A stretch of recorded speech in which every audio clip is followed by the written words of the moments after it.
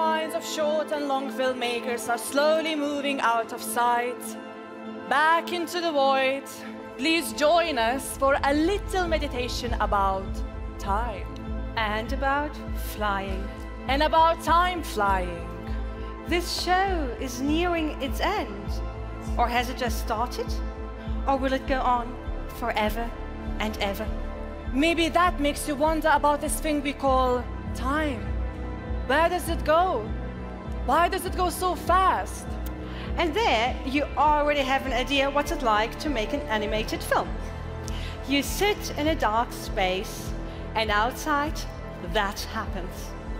Children are born, old people die, empires crumble to dust. Trees grow, ice melts, the earth spins.